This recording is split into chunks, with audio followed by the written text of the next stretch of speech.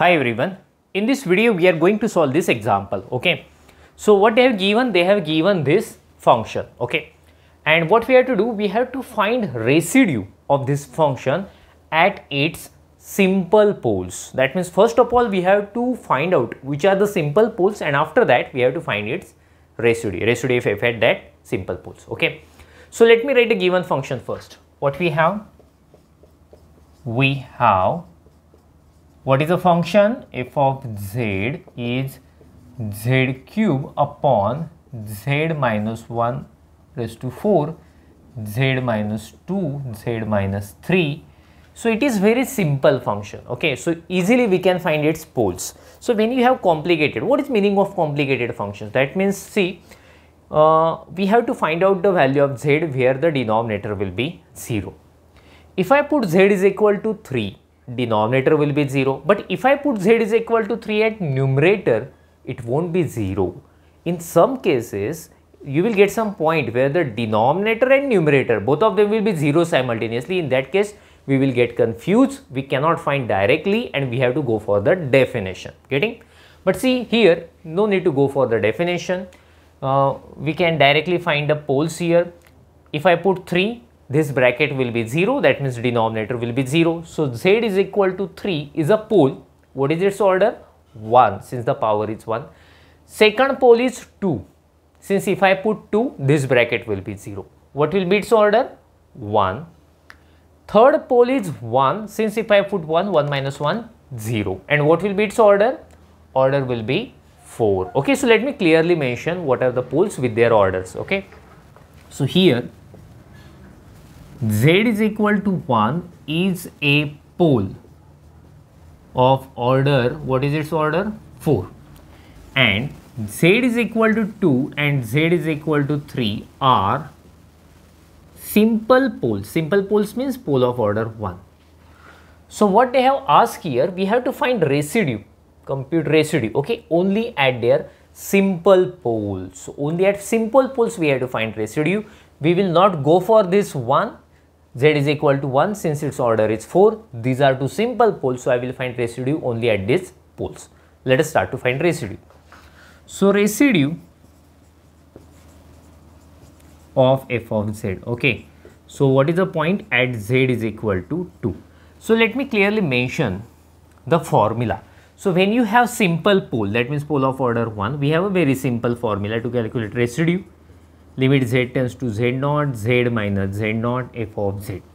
Same formula I will use here. The difference is at a place of z naught, we have 2. This is equal to limit z tends to 2. Okay, z naught is 2. Next, z minus z naught, z naught is 2 and f of z so limit z tends to 2, z minus 2. What is my f of z? This is my f of z. Let us put it here as it is z cube upon z minus 1 raised to 4, z minus 2, z minus 3. Will you guess the next task, next step?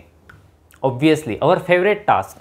Let us cancel this z minus 2, z minus 2 from both sides from numerator and denominator okay so this is equal to limit z tends to 2 at numerator we have z cube and in denominator we have this z minus 1 raised to 4 and this z minus 3 okay.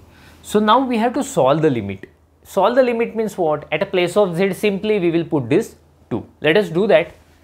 So here 2 cube right upon 2 minus 1 raised to 4 here also I will put 2 2 minus 3 2 cube is 8 2 minus 1 1 raised to 4 2 minus 3 minus 1 1 raised to 4 1 obviously and this minus is there so that's why answer will be minus 8 so we got the residue of f at z is equal to 2 so we have one more simple pole that is 3. So here we will find the residue at z is equal to 3 also. Make a screenshot of it then I will go further. So let us find residue at z is equal to 3 now. Okay. So let me mention residue of f of z at z is equal to 3. So it is a simple pole. So we have this formula to calculate residue.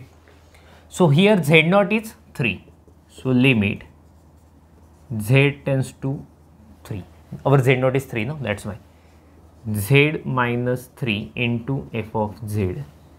So limit z tends to 3 z minus 3. What is my f of z? That is z cube upon z minus 1 raised to 4 z minus 2 z minus 3 okay guess the next step. Our favorite task cancel this bracket right? Okay. So this is equal to limit z tends to 3 z cube upon z minus 1 raised to 4 z minus 2 we have to solve the limit. That means simply we have to put z is equal to 3 everywhere right? So here you will get 3 cube upon 3 minus 1 raised to 4 3 minus 2 3 raised to 3 it means 27 okay? 3 minus 1 2 raised to 4 16 3 minus 2 1 so the answer is 27 upon 16 that's it. This is required residue. Okay. So we in this way we found out residue of f at both simple poles 2 and 3 make a screenshot of it then we will stop. Thank you. See you next video